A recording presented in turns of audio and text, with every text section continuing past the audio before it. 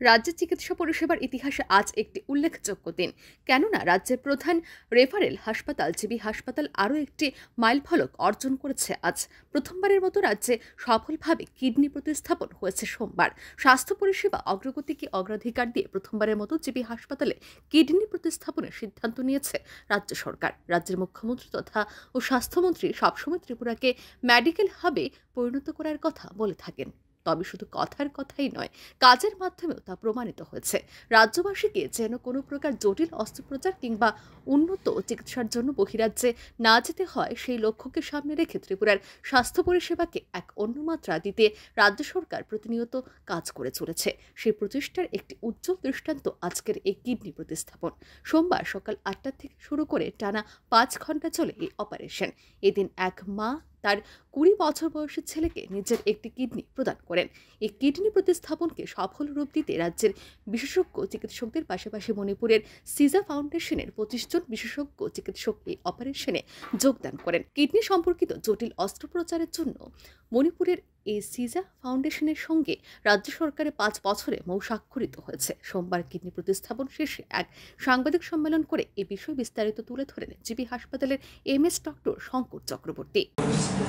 আপনাদের মাধ্যমে আমি সমগ্র ত্রিপুরাবাসীর কাছে কৃতজ্ঞতা জানাচ্ছি, সমগ্র ত্রিপুরাবাসীকে অভিনন্দন জানাচ্ছি, ধন্যবাদ জানাচ্ছি। কারণ সবার সম্মিলিত প্রার্থনায় এবং সহযোগিতায় আজকে আমরা প্রথমবারের মতো ত্রিপুরাতে কিডনি ট্রান্সপ্লান্টেশন করতে পেরেছি।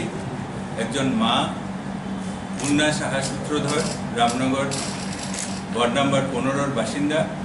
ওনার ছেলে শুভম সূত্রধর, কুড়ি বছর কুড়ি বছর বয়সী ছেলেকে কিডনি দান করে এই কাজটুকু আমাদের হাসপাতালে প্রথম সম্পন্ন করার জন্য ওনারা সহযোগিতা করেছেন, আমাদের প্রতি আস্থা রেখেছেন, বিশ্বাস রেখেছেন। এই জন্য ওনাদেরকেও আমি ধন্যবাদ জানাই।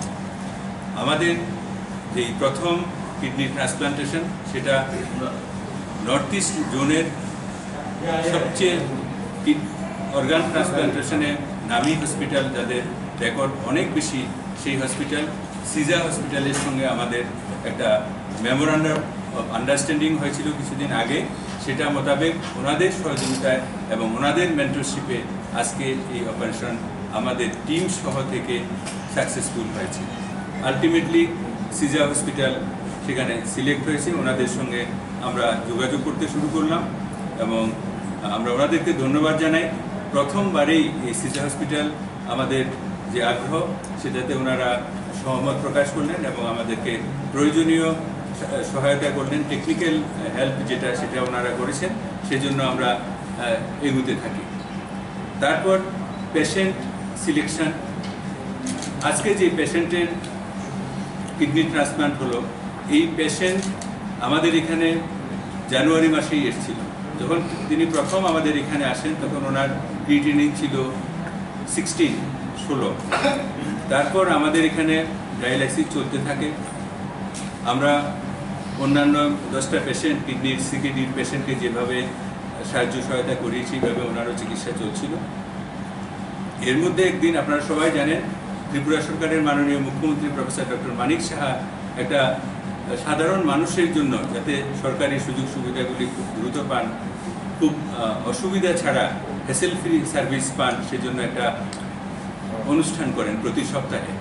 সেটা আগে বুধবারে হতো, কখনো কখনো বৃহস্পতিবারেও হয়, মুখ্যমন্ত্রী শ্রমিক ইস্যু একটা জনপ্রিয় অনুষ্ঠান।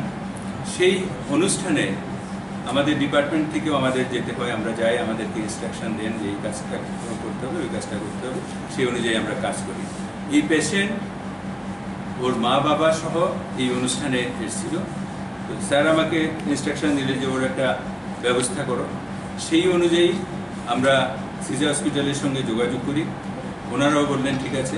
তারপরে আমাদের যে নেফ্রোলজিস্ট ডক্টর মানস গোপ এবং ডক্টর সমরেশ পাল আর আমাদের ইউরোলজিস্ট ডক্টর বিজিত এবং ডক্টর মুকুট দেবনাথ, ওনারা এর উপরে ওয়ার্ক আপ করলেন।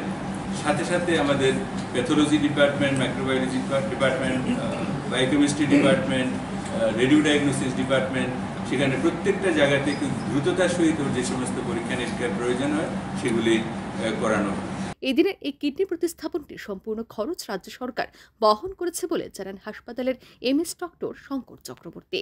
Bureau Report, our News.